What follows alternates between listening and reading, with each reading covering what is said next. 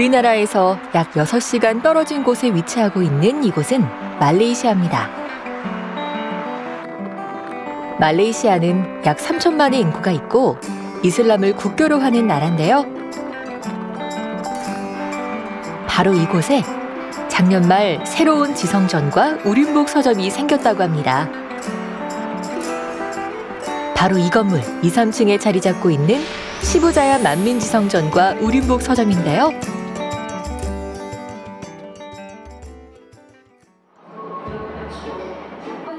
위청친 집사 가족의 수년의 정성이 담긴 이곳.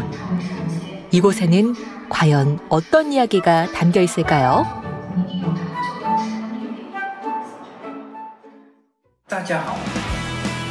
안녕하세요. 저는 말레이시아 사라왁 시부자에 살고 있는 위청친입니다. 만민의 성도가 된 지 벌써 10년. 위청친 집사는 성결의 복음을 듣기 전까지만 해도 참된 신앙생활이 무엇인지 잘 알지 못했습니다.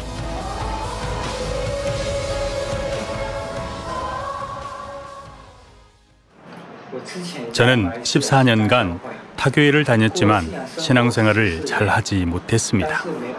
여전히 세상을 사랑했고 가정에는 평안이 없었지요. 저는 주일 아침 10시에 예배를 드리고 나서는 가게에 가서 영업을 했습니다. 돈을 벌고 싶은 생각이 컸기 때문입니다. 만민교회에 다니기 전에 저는 예배를 드리기는 했으나 여전히 우상을 섬겼습니다. 매년 설이나 명절이 되면 형제들과 함께 돌아가신 아버지와 조상을 위해 향을 피우고 제사를 드렸으며 조상들의 사진 앞에 제사 음식을 차렸지요. 그 당시 저는 풍수를 믿었는데 팔자를 바꿔보려고 풍수를 보는 사람을 집에 청하여 풍수를 보았으며 절에 가서 참배를 하기도 했습니다.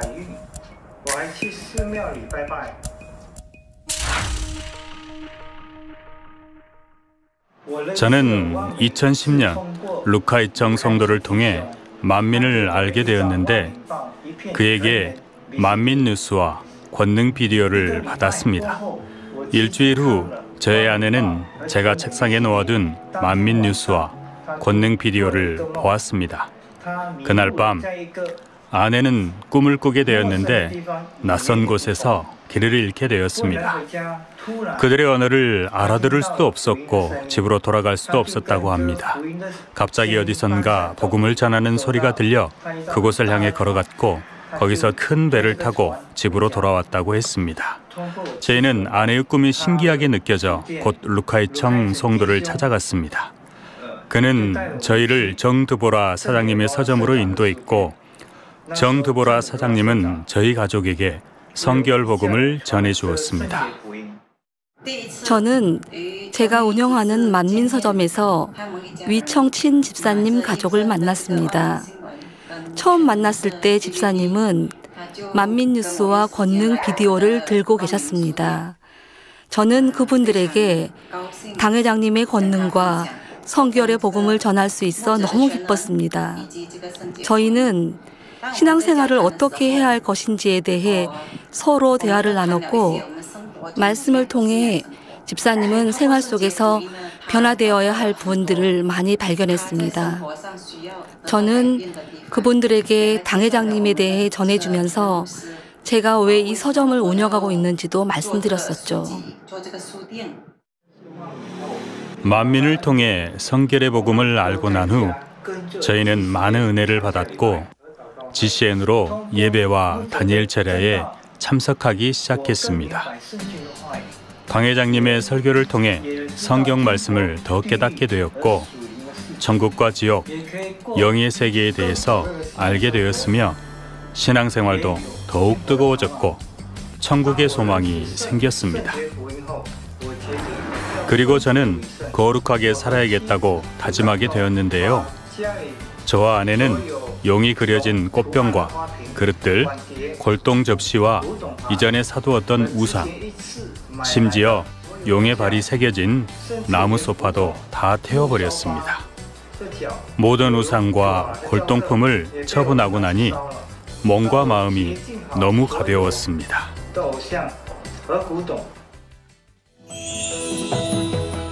나의 신앙을 바꿔준 성결의 복음.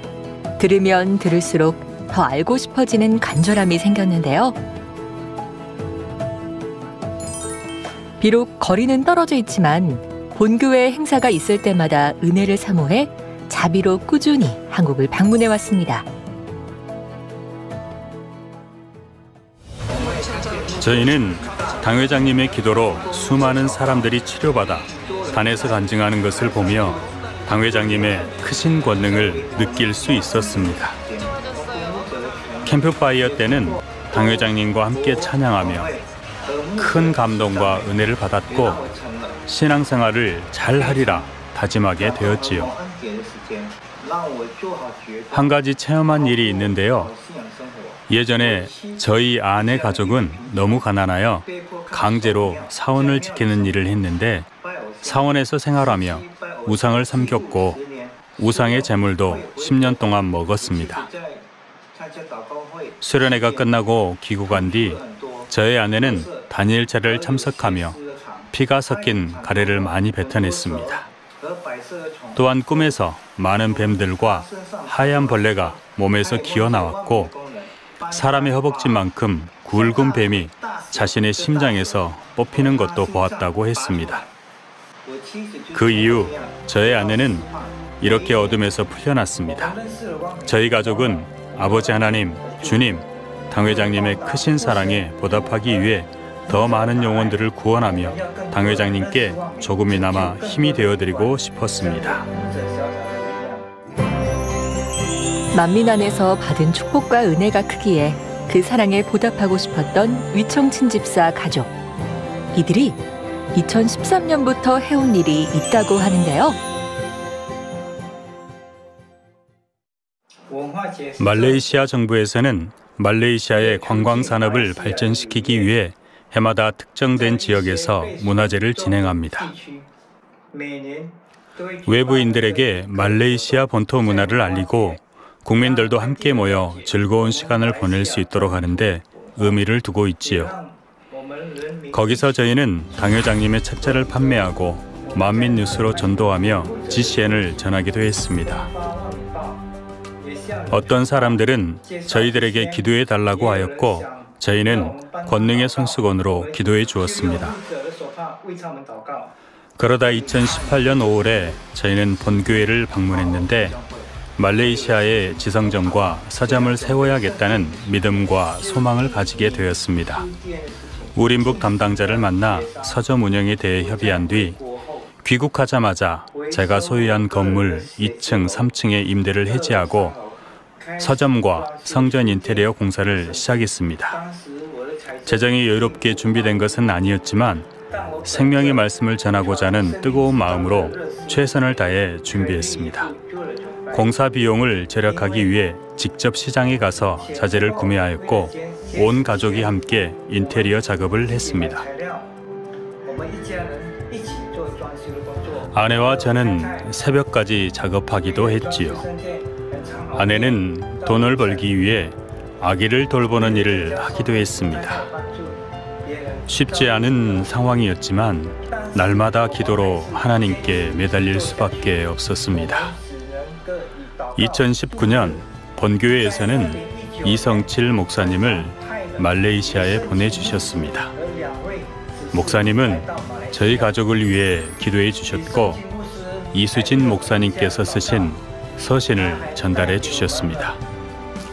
이분들의 방문과 이수진 목사님의 서신은 저희들에게 큰 힘과 격려와 위로가 되었고 저희는 믿음이 충만하여 더욱 앞으로 나아갈 수 있었습니다. 그 후 2020년부터는 상황이 달라지기 시작했습니다. 보유하고 있던 집 한 채와 가게 건물을 좋은 가격에 팔아 부채를 모두 갚을 수 있었고 운영하던 음식점도 좋은 가격에 임대를 내줄 수 있게 됐습니다. 현재는 음식점을 비롯해 보유한 부동산을 모두 임대를 내주고 세를 받고 있습니다.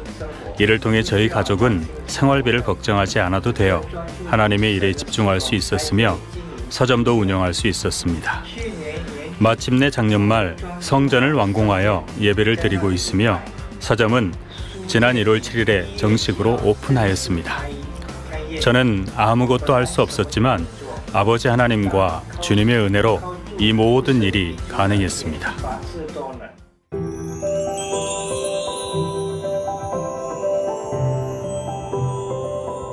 비가 온 후 땅이 더욱 단단해지듯 어려움의 시간을 믿음과 소망으로 이겨냈습니다. 그 이후 아버지 하나님께서는 집사님 가족에게 축복의 길을 열어주셨고 약 4년의 시간 끝에 지성전과 서점을 완공할 수 있었습니다.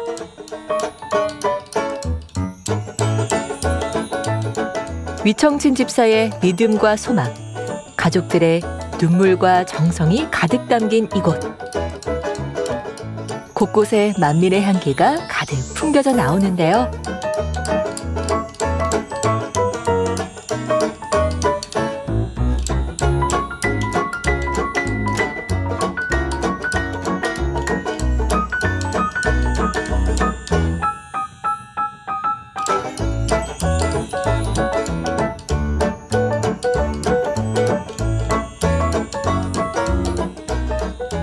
저는 당 회장님의 책자뿐 아니라 만민 뉴스도 진열해 놓았습니다. 또 더 많은 사람들을 서점으로 인도하기 위해 저희는 양복, 예복, 웨딩 드레스 등을 빌려주고 있는데요. 고객들이 서점에 와서 당 회장님 사진을 배경으로 예쁜 옷을 입고 사진을 찍을 수 있게 했습니다.